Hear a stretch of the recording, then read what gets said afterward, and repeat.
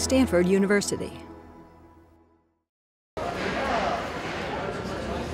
So basically, we have a lot of the uh, Bay Area corporations and also Stanford labs that are making advanced robotics, and we're showing them all here in one space today for part of National Robotics Week. These planetary robots, this is the K-10 rover, uh, which is uh, used for exploring remote environments.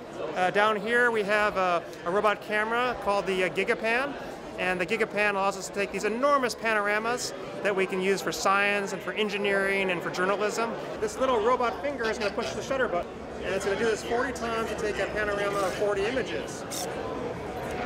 It is a learning experience, yes. This, this whole event has been helpful not just for um, the public seeing what uh, robotics companies and labs are up to, but it's also brought the groups together. You know, anybody can just connect to it from their workstation. It's all web-based, and uh, you know, connect into the robot and just cruise around the office. And I can drive it around using a very simple web interface where I have control over pretty much everything. I, I can go backwards, I can go forwards. It's a celebration of robotics, and it's uh, the effort is to try to get people interested in robotics and to explain the benefits of it.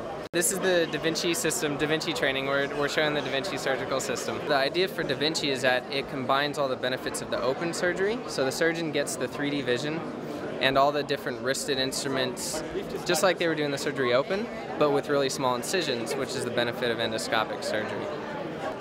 Really awesome, yeah. I really liked the Da Vinci. I really liked that one where you drew something on the iPad and then it copied it. Ready? Go! Instead of us teaching robots what to do, robots are learning from the internet like people are. So as things on the internet change, robots are going to be able to adapt to that. So it's robots entering the cloud computing world, which is very hot right now. I'm, I'm 61 years old and I'm still playing with toys, so isn't that fun? Off a radio control interface, but uh, the total weight right now is around uh, 25 For more, please visit us at stanford.edu.